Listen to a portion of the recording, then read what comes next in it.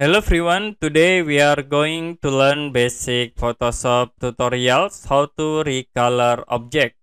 For example, I will open this image and then I will recolor this object. You can click at uh, these icons, object selection tools. So I will select from this point to here, like this, and then you can release. Now Photoshop will be automatically tracking the objects. We waiting until finish.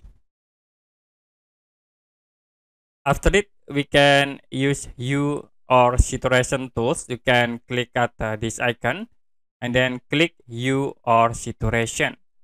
So to change the color, you can increase and decrease in hue option. Like I will move to the left like this, or you can move to the right here. So in there I will set into yellow. And that's it. How to recolor in Photoshop with this hue or saturation tools. And if you have any question about this tutorial, you can comment below this video.